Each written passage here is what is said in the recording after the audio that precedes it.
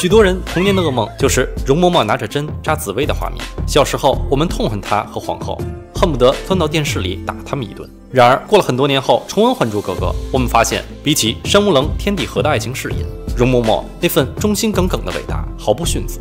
本期我们就聊一聊，作为皇后的乳娘。容嬷嬷也算是皇后的半个亲妈了，一直不顾身份卑微，尽心尽力在皇后身旁，一切都是从皇后的角度去考虑。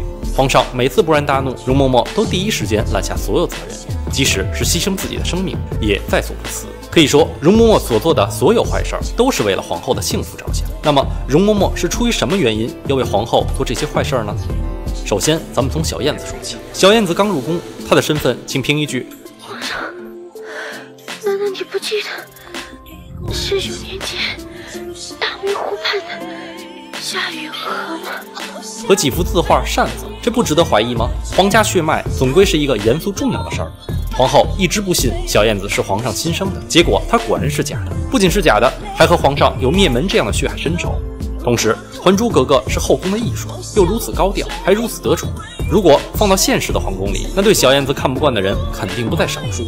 再加上小燕子的做派，她是大杂院长大的孤儿，难免隐气。皇宫内院最讲究的尊卑纲常的地方，小燕子让太监宫女和她一块坐着喝酒，自己大呼小叫的，很是体统，在宫里是个突兀的存在。皇后容嬷嬷他们看小燕子，就像有些人看某些人突然红了那种不爽又不屑的心态一样，而且身份还没搞清楚，能不防着吗？更重要的一点，《还珠格格》和五阿哥走得近，五阿哥人品贵重。是乾隆最看好的皇子，而皇后还有一个十二阿哥。可是皇上不喜欢永吉，更没有培养其为储君的意思，反倒是五阿哥颇得胜券，所以皇后就更不喜欢为五阿哥博宠的还珠格格了。咱们再说到紫薇，他们是尔康他们家送进宫的，走的就是令妃的路。一个宫女，你想一想，整日在皇上面前刷脸刷才艺。唱歌弹琴，还和皇上彻夜下棋。彻夜，外人可不知道，紫薇天天深情地望着皇上，是因为乳木之思，只会想这宫女也不知道安的是什么心。从皇后和容嬷眼里，这就是令妃为了顾宠送进宫的红妹子，还对了皇上的胃口。令妃的令是美好的意思，但是皇后他们眼里恐怕就是巧言令色的意思。她颇有心机，在皇帝面前十分温柔，心思也大，出身不高却盛宠不衰。而皇后呢是继后，在皇上心里的地位比不上孝贤纯皇后。她这个人言语直率，原则性也强，不会讨皇上的喜欢。帝后之间的关系只能越来越紧张。所以通过以上无数错综复杂的关系网，容嬷嬷为了皇后，必须要采取一定的手段来应。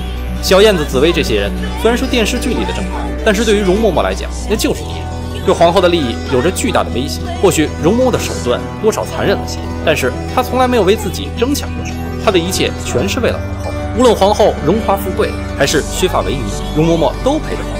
在第三部里，皇后生病去世，容嬷嬷说了句“奴婢伺候您来了”，就切腹自尽。主子坏，就为他尽坏事儿，同时尽量保护他不受伤。主子良心发现，他也可以伴其左右吃斋念佛，情深至此，忠心耿耿，连那些山盟海誓，我想都要自愧三分吧。